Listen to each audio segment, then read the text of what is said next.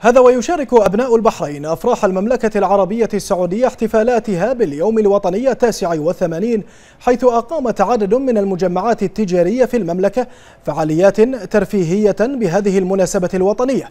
وذلك تعبيرا عن عمق روابط الأخوة والمحبة التي تجمع بين البلدين والشعبين الشقيقين إذ تمثل العلاقات الثنائية بين البلدين نموذجا يحتذى به في كافة المجالات.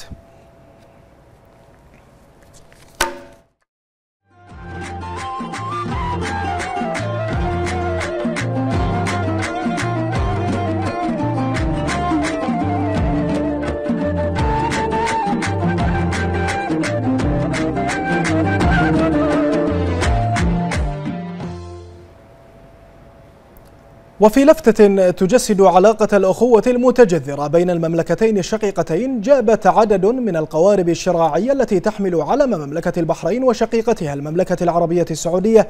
جابت في مياه خليج البحرين تعبيرا عن الفرح باليوم الوطني التاسع والثمانين للسعودية وما وصلت إليه من تقدم ونماء وازدهار.